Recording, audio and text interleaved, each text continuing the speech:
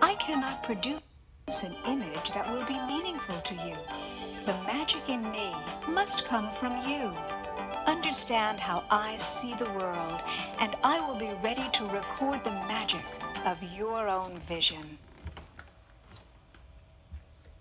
The ISO number that's printed on the film box is not treated as a wholly unchangeable figure. Galen regularly shoots his film with his camera set to an ISO number that is technically incorrect. For Galen, creative use of ISO is an integral part of personal vision. Galen recommends that photographers perform a simple test with one roll of film. The test will determine what ISO numbers are your personal preference in specific kinds of scenes. To perform the test, take one 36 exposure roll of film and shoot six exposures of six different scenes at six different ISOs. Shoot a variety of subjects, a bright sunlit landscape, a shadowed landscape, a scene with mixed and scattered light, a scene with flesh tones, a scene with clouds, and six of a general open landscape. Galen is shooting ISO 100 speed film. His first exposure is shot with the camera set to ISO 64. The next exposure is made with the camera set to ISO 80. Next, ISO 100, ISO 120, ISO 160, and ISO 200 finally finishes out the scene. Galen shoots a two-stop range of exposures in one-third stop increments. The 36 slides will guide future use of this particular combination of film and equipment. Write down a precise record of each exposure so that you can see which ISO number you prefer in each scene. Now that we have our test roll of Ektachrome 100 Plus processed, I'm putting it out on the light box in exactly the order that I wrote down the images in my notebook in the field. And as I go through them, I'm finding out that the ISO on the box is not what I necessarily prefer. In the first sunlit scene, I prefer ISO 120. In the shadowy scene, I prefer ISO 100. In the mottled light, ISO 200 because the dark shadows in the center have thrown off the exposure reading. Flesh tones, ISO 120. Bright white cloud, ISO 64, because the whiteness has thrown off my exposure reading. And the general scene, which happens to have the same white cloud in the back, also ISO 64. By looking at this and making an estimate, I would set my exposure meter for this camera and this film and my personal preference at ISO 120, not the speed that's marked on the film box. It's a really valuable test to tune your film and your eye and your camera to exactly what you need.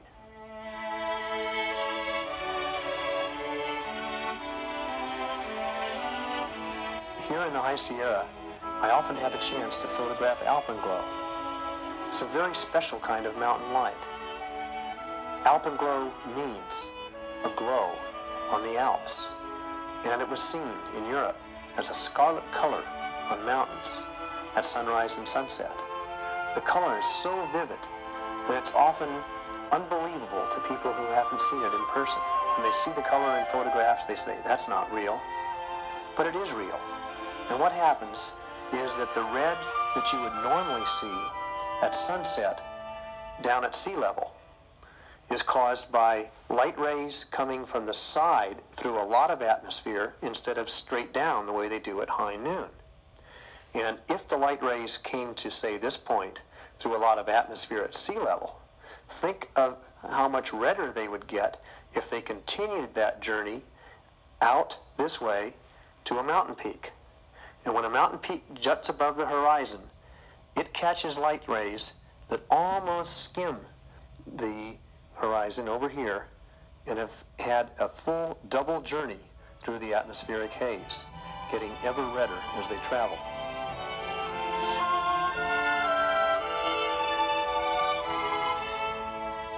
A lot of people, as soon as the sunset's gone, uh, go back to their car, put their camera away, hear lots of clicking. Clicking of tripods closing, clicking of trunks closing, ignition starting, doors closing. people drive away. But many times that's when the most wonderful things happen in the sky, 15 or 20 minutes later. Because the Earth's shadow rises. And You have a blue shadow in the sky with red above it. And when you get parts of the landscape working with that, things that stick up into the landscape, such as Half Dome here, uh, such as profiled cliffs or trees or any number of things, you can get some of the most satisfactory landscape shots well after sunset.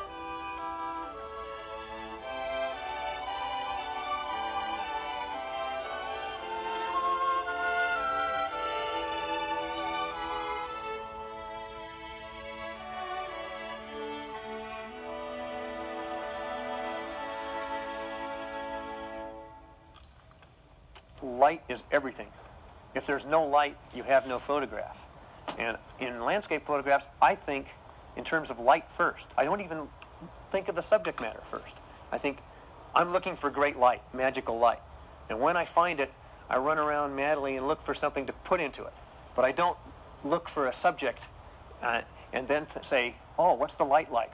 Well, is it good, bad? Uh, first of all, I think of light.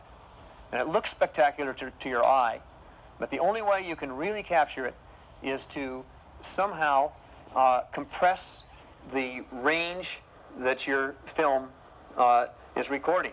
And I use a split neutral density filter to do that. One part of it is gray, it doesn't add any color to it. And it holds back the exposure about two stops. And then it gradually gradates into clear. And if I put that line of gradation uh, along the place where the light changes, then I can have a good exposure in the shadows and still not overexpose the highlights. And that's a way that I get around having lighting contrasts that exceed the capabilities of my film. To look at Galen's completed shot, you'd never suspect that a gradated split neutral density filter was used.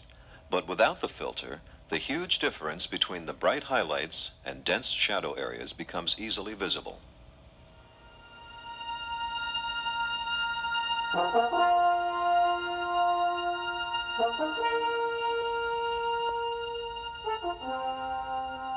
people bring back pretty pictures that aren't relevant to the place they've been.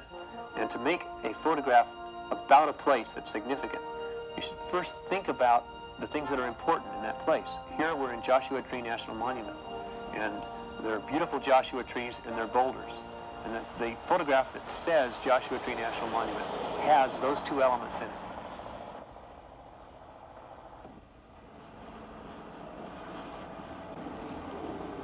Those rocks over there look pretty good, but they're a little sparse on the Joshua trees. But if we get even one or two trees sticking out there, and we have the backdrop of this valley, the light's going to be really different in the valley behind, because it's going to be very blue in the shadows, and we're going to have the real orange light on these rocks at, at sunset. So this is a really good potential. But right now, it's so drab, you just never know what it's going to look like in a few hours. I very rarely find a photograph wholly made usually I see one element that I want and then figure out how I'm going to put the rest of the, of the photograph together. I, I see something and I think it's not so good now, but in different light, that would be good. And if I can put it together with something else, if I can put A and B together, then it'll be good. And I carry that in my mind, go from place to place, until I find those things, and then come back in the light that I think is right, and make the photograph. And in that way, my camera leads me to see more beautiful things than I would see without it, because it's training me to follow light and leads me to those beautiful spots. This is looking like it could be really good. Isolated tree and the, the rocks are really well separated, but the light is really flat. But it's going to get the last sunset. The, when the sun's right down on the horizon, it's going to get fabulous light, and the angle is just right to get that tree and the rocks with a real alpenglow. This is going to be beautiful at sunset. We should come back.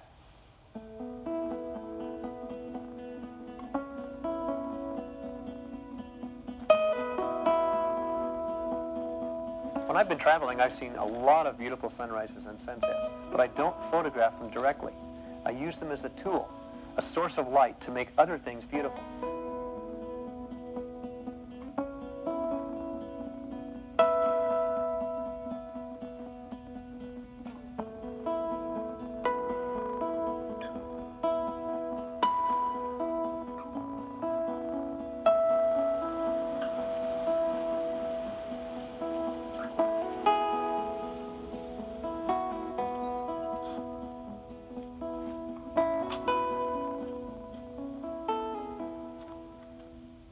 Whenever I travel, I take a large amount of equipment with me, but then when I go in the field, I tailor what I'm going to take to my needs. And I may take only one camera body and one or two lenses at most. If I see wildlife, I'll take my 400 millimeter lens and maybe my 180. If I'm going out after a, landscape where I know I have a foreground, I might take just my 20 millimeter and my 24 millimeter, and just those two. And if I'm going out for a day or so and traveling light, I'd take a 24 millimeter, a 55, and a 75 to 150 zoom. The trick of getting good landscape photographs is to find something that you can emphasize so that when your viewer looks at the photograph, he recreates what was important to you. And to do that, I don't want to use a normal lens most of the time. I want to use a wide angle to emphasize the breadth of something or the telephoto to pull something in. And wide angles are my favorite because I can do a lot of different things with them. I can turn them down a little bit and have just a kiss of horizon in the far distance and have the whole stretch from two feet in front of my camera out to infinity. Now that looks good over there. If I use a polarizer, I can really saturate those colors. A polarizer cuts most of the reflected light from the sky. So it cuts that extra blueness that you get from the sky, darkens the sky to separate the sky from the land, and intensifies colors by taking away that blue pollution that comes from the big blue umbrella that's over your landscape. A polarizer is only effective where you have a direct light source. If you can't see the sun, then you're not going to have the major effect that a polarizer has. And you have to use it close to 90 degrees off axis from the sun. If you use it in line with the sun, either towards the sun or away from the sun, then it does nothing because the sun is in that same plane.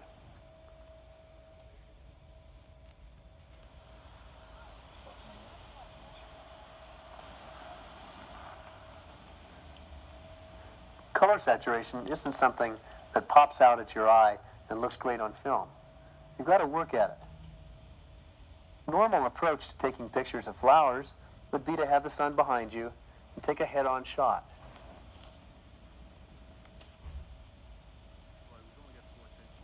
But there's several things I can do here to make these colors really pop. If I come around 90 degrees, then I start to pick up shadows. And those shadows are going to make the colors look richer because any color against a darker color looks brighter than it does against a lighter color. Also at this angle, a polarizer is going to work for me. And that's going to give me richer colors because it'll cut the blue from the sky and cut the surface reflections from the stalks of grass and the flowers. And I'm going to give it a little bit of underexposure. That too is going to darken the adjoining colors and make things look richer. Boy, does that look bright. When I